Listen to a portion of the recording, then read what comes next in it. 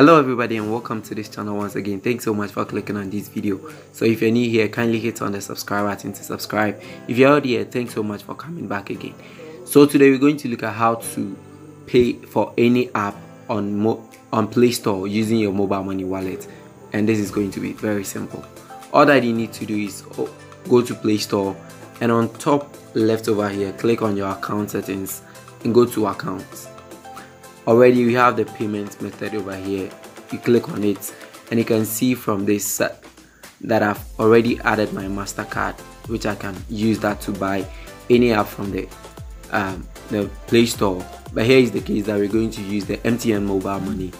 And make sure that you're having MTN I don't know if this is working on Vodafone or any other network but this is probably MTN so you click on use more MTN Momo billing and then you wait for it to load. So your account will be verified and afterwards you can just try to set up your account.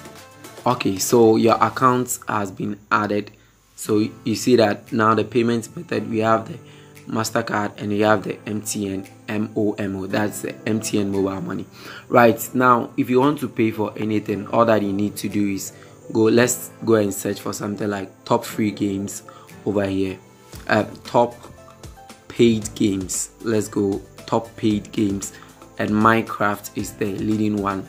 And you can see right from here that the currency has changed to ghana cedis. So you can pay with your mobile money. So you click on the currency and then the payment options will come. Now you see i have my mastercard set to the default right? So you click on it and then you change the payment method. So you click on payment method and then you wait for it to load. Now you select MTN MOMO and then immediately you click on buy.